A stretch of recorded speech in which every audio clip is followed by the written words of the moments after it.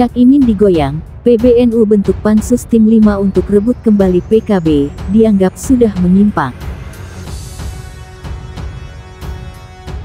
Arti artinya akan ada pengambil alihan PKB.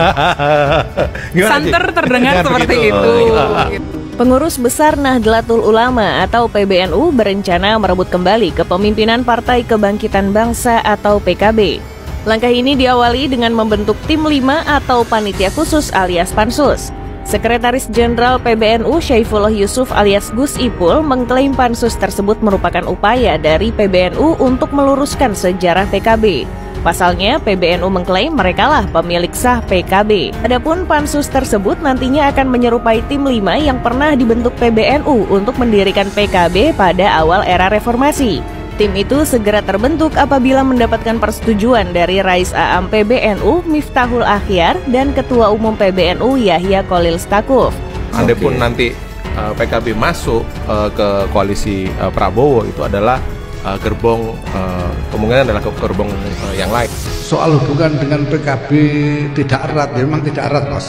Sama tidak eratnya dengan hubungan PBNU dengan partai yang lain gitu. ya.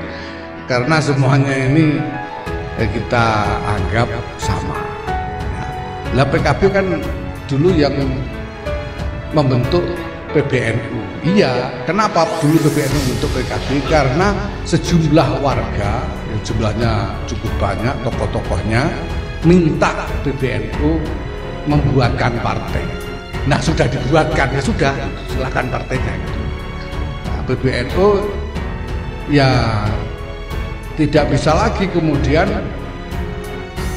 eh, diharuskan diharuskan untuk apa namanya menyuapi menyuapi partai yang dibentuk ini. Silakan jalan berkompetisi dengan yang lain secara rasional.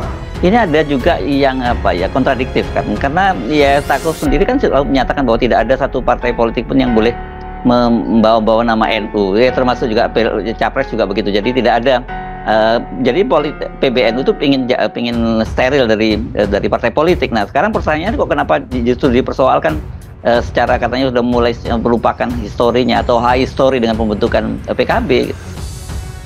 Ya kan itu kelihatannya ada tidak ada yang tidak inline, tidak se searah sejalan dengan keterangan Pak, Pak Ketua PB Pak eh, Yusuf ya, eh, ya, sorry. Pak Yahya. Hmm. Ya Sakuf eh, kira-kira setahun yang lalu yang dia ucapkan bahwa ya nggak ada urusan dengan eh, dengan eh, politik tuh semua hal nggak nggak tidak boleh membawa-bawa nama NU ya. NU tuh. Jadi kalau NU dibalikin ke P, PKB dibalikin ke NU artinya NU artinya berpolitik lagi kan? Kan Mhm. itu kontradiksinya di situ tuh. Tapi lebih dari itu sebetulnya kalau kita baca sejarah-sejarah partai di dunia itu, partai itu kemudian tumbuh menjadi entitas sendiri. Kan yang memiliki PKB itu bukan cuma NU, juga masyarakat yang memilih dia kan. Dan kalau dicalonkan Anies di situ tentu pemilih Anies. Pemilih Anies tidak semuanya NU kan itu itu eh, eh, logika logika kacaunya ada di situ. Saya ingin ngajak PKB kembali ke habitat. Sana itu bukan habitatnya dia, kembali ke habitat. Saya tidak akan eh, berhenti untuk eh, menjadi maklar kebaikan. Bahwa PKB itu dilahirkan oleh NU dan sudah semestinya eh, PKB minta nasihat kepada Rois Am, Ketua Umum, kepada Gus ini eh, Lebaran ya, waktu yang tepat untuk silaturahim dan sudah sepatutnya PKB untuk silaturahim, untuk minta nasihat tidak bisa PKB menanggung sendiri. Sekali lagi PKB dilahirkan oleh NU dan itu tidak bisa putus. Dan untuk itu karena PKB bukan milik kelompok tertentu, bukan geng tertentu, ya, apalagi milik perorangan, maka eh, menjadi penting eh, buat PKB untuk komunikasi dengan dan kami juga persilahkan kepada masyarakat untuk menilai partai termasuk kepada warga NU ya. Kami persilahkan kepada masyarakat termasuk warga NU untuk menilai partai-partai politik yang ada ini secara rasional. Ya. secara rasional itu ya dilihat eh, kredibilitasnya dilihat prestasinya track recordnya dan seterusnya. Ya. Tidak usah eh, memperhatikan klaim-klaim atas nama NU misalnya. Ya. Kalau ada orang NU termasuk pengurus menjadi aktivis partai itu pribadi, bukan lembaga. Ya. Munculnya wacana untuk membuat tim 5 oleh PBNU ini sebetulnya merupakan uh, sebuah dinamika yang sudah berjalan beberapa waktu yang lalu dan ini terkait dengan uh, ya semacam uh, pergolakan atau bukan pergolakan ya artinya ada ada per, perbedaan pandangan antara DBP PKB dengan PBNU dalam hal ini terutama uh, elit PBNU sesuatu yang bisa dikatakan disayangkan karena sebetulnya masing-masing itu mempunyai dua uh, fungsi dan dua peran yang walaupun uh, mempunyai tujuan yang yang sama yaitu membawa Nahdlatul Ulama tetapi ranahnya berbeda. Tetapi begitu PKB lahir dia memperoleh legitimasi lain, legitimasi sosiologis, legitimasi politik. Kan ini bukan seperti bayi yang ketika lahir itu pakai nama bapak ibunya terus kan ke mana-mana. Lo ini PKB itu dilahirkan untuk dari rahim NU masuk ke rahim Republik, masuk ke rahim politik. Lain lagi itu di situ kan problemnya. Jadi tentu secara kelembagaan tidak ada hubungan politik lagi antara NU dan PKB. Kenapa? Karena pikiran PKB itu tidak sepenuhnya lagi mewakili pikiran NU. Mengapa begitu? Karena yang milih PKB itu bukan NU aja, kan lebih luas lagi. Apalagi caleg-caleg PKB bisa datang dari koalisi partai-partai lain, kan itu intinya tuh.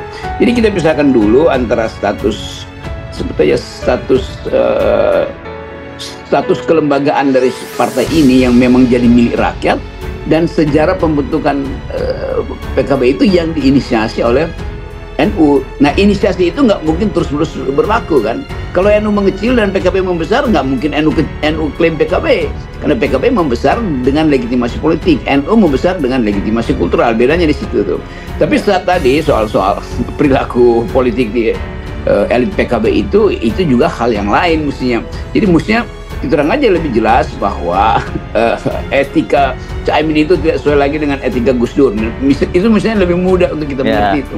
Yeah. Oh, yang diperbaiki adalah penampilan uh, politik atau watak politik dari pemimpin-pemimpin PKB, bukan PKB yang yang mau diambil alih itu juga jadi lucu kan. Jadi NU mau merampok kembali partai yang dia buat sendiri itu agak, yeah, yeah. agak ajaib itu.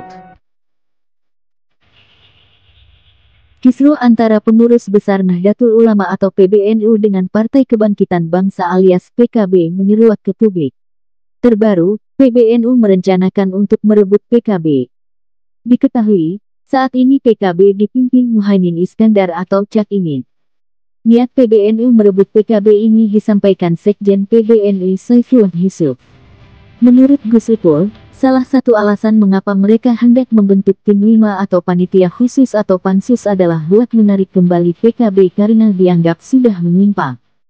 Ada tanda-tanda mereka akan membawa lari dari sejarah berdirinya PKB, kata lelaki akrab disapa Gus itu dalam keterangan tertulis, Jumat tanggal 26 Juli tahun 2024. Gus Ipul menyebut tim itu dibentuk sebagai upaya PBNU meluruskan sejarah sekaligus mengembalikan PKB ke pemilik sahnya, yakni PBNU. Langkah ini setelah melihat pernyataan elit-elit PKB yang historis, ujar Gus Ipul. Menurut Gus Ipul, elit PKB saat ini kerap membuat pernyataan yang melenceng dari fatsun awal pendirian PKB. Bahkan Gus Ipul menuding ada upaya yang nyata dan sistematis dilakukan elit PKB buat menjauhkan PKB dari struktural new. Gus Ipul mengingatkan PKB didirikan oleh struktur new, mulai dari PBNU sampai tingkat ranting. Sehingga menurut dia, PKB tidak akan pernah terbentuk tanpa bantuan struktur new. Adapun beberapa pernyataan elit PKB yang dianggap jauh dari sikap new yang menganggap suara PBNU tidak perlu didengarkan. Padahal, Gus Ipul menegaskan, karena tidak mendengarkan PBNU berakibat PKB gagal dalam proses Pilpres 2024. Gus Ipul menjelaskan, Tim 5 sedang digagas kemungkinan mirip dengan tim dibentuk oleh PBNU pada awal masa reformasi buat mendirikan PKB. Akan tetapi, kata Gus Ipul, Tim itu baru bisa terwujud setelah mendapatkan persetujuan dari Rais Am Kiai Haji Miftahul Ahyar dan Ketua Umum PBNI Kiai Haji Yahya Kolil Stakuf. Kita akan undang bergabung seluruh tokoh, para aktivis ini untuk dimintai pendapatnya terkait hal ini, kata Gus Ipul. Minta Cak Imin diganti. Jabatan Muhaimin Iskandar Cak Imin mulai digoyang, Gus Ipul PBNU minta Ketua Umum PKB diganti di Hiptamat. Usai Pilpres 2024, jabatan Cak Imin sebagai Ketua Umum Partai Kebangkitan Bangsa PKB pun ikut digoyang. Permintaan agar dilakukan pergantian Ketua Umum PKB ini disampaikan oleh Sekretaris Jenderal Pengurus Besar Nahdlatul Ulama PBNU, Saifullah Yusuf atau Gus Ipul. Jabatan Ketua Umum Partai Kebangkitan Bangsa PKB mulai diperbincangkan. Muhaimin Iskandar alias Cak ini telah menguasai jabatan Ketua Umum PKB selama 20 tahun atau sejak 2005.